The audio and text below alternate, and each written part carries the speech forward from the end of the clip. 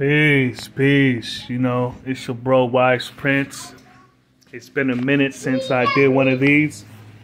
So, you know, I'm gonna keep it short. My battery's about to die. Uh, yesterday, uh, last night, had a build with our Almighty True Divine Allah.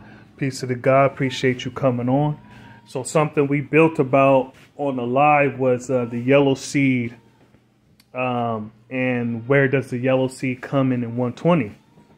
And, uh, you know, the God uh, Almighty True Divine Allah said that he sees it that the 2 million Indians is where, you know, some of the yellow seeds could, you know, could be in.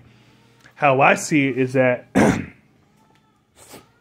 the yellow seed is in the first degree who is the original man answered ritual man is the Asiatic black man, the maker, the owner, the cream of the planet, earth, father, civilization, God of the universe.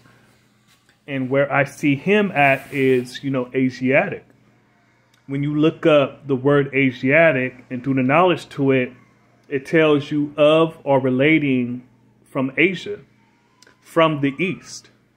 You see what I'm saying? So we know that uh, the yellow man is in is his home is in Asia. You see what I'm saying? So when we build and we say, okay, where's the yellow seed? You know, in 120, it's in the first degree.